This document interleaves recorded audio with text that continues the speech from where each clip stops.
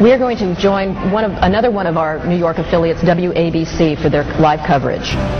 Overhead, and then all of a sudden I, I thought it sounded kind of loud, um, louder. Then I looked up, and all of a sudden it smashed right dead into the center of the World Trade Center.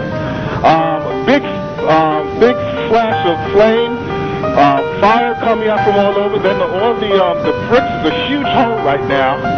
Um, it almost looked like the plane probably went through. I'm not sure. Winston, can you see? Are you on the north side there where the where the plane made uh, contact? Yes, I am. Now, when you say a huge hole, one of our earlier witnesses, Libby Clark, said not much of the plane came down off the building. Much No, of it went totally into the building. It's in the building, from what you can see. Right. Now, can Yeah. you see if there's a lot of debris downstairs, Winston? Um, no, because it looked like it, it inverted the impact. Everything went inside the building. Inside. Uh, the only thing that came out was a little bit of the um, the outside awning.